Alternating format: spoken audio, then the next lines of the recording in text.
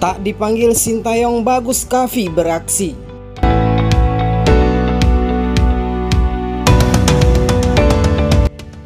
Bagus Kavi buka suara soal namanya tak dipanggil Sintayong ke dalam skuad timnas Indonesia. Dia menyebutkan kalau tinggal menunggu waktu saja untuk curi perhatian Sin. Seperti diberitakan sebelumnya, Sin baru saja resmi memanggil 36 pemain timnas Indonesia dipersiapkan untuk lawan Taiwan. Namun dalam daftar nama tersebut tak ada satupun pemain dari luar negeri. Kali ini Garuda didominasi oleh pemain-pemain muda seperti Genta Alfredo, Rizky Rido, Febi Eka, Fatari hingga Pratama Rahan. Sedangkan pemain-pemain dari luar negeri tak terlihat. Padahal pada TC sebelumnya saat jelang lanjutan kualifikasi Piala Dunia 2022 ada beberapa nama seperti Egi Maulana Fikri, Witan Sulaiman Sahrian Abimanyu hingga Asnawi Mangku Alam. Bagus Kafi pun tak ada dalam daftar itu.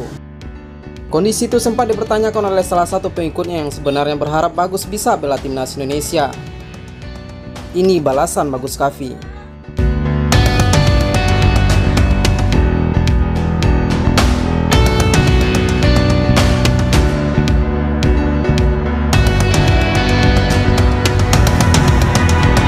Agus sendiri mulai menemukan sentuhannya di lapangan.